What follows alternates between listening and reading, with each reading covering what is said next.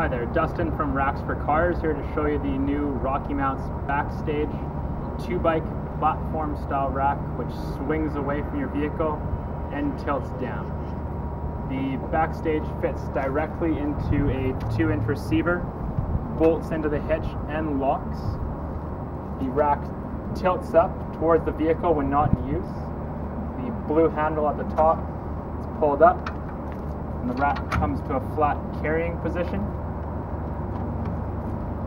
these arms and tilt out to the side and up. Front wheel trade is deployed. The back tire secures with a strap.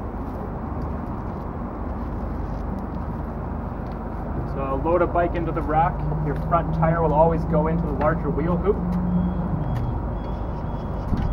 You'll secure this arm as close to the fork or brake as you can get it. Squeeze that down in position back tires then held in with supplied wheel strap.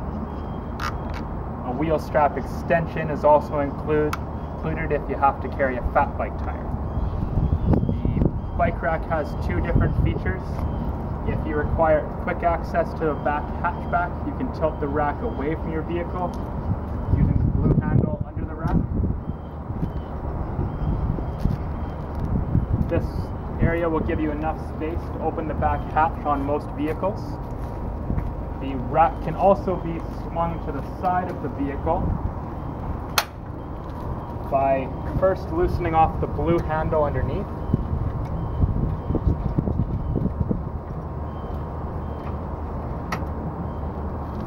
And then pulling a pin on the back side of the rack. Top part of the rack will pivot and lock in place. And then the rack will swing all the way to the side of the vehicle and lock in place again. This is going to give you clear access to the back hatch, back tailgate on a truck, or a, a barn door on like a camper van or a sprinter van. When you want to put the bike rack back in, you'll pull upwards on a, this pin here and upwards on the other pin. Bring it all the way back around and tighten the blue hatch.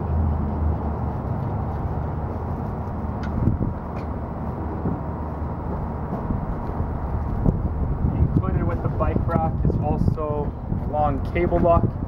You'll loop this through both bike frames and you'll attach the steel collar onto the locking hitch pin secured to the vehicle that locks your bikes and the bike rack all onto the vehicle.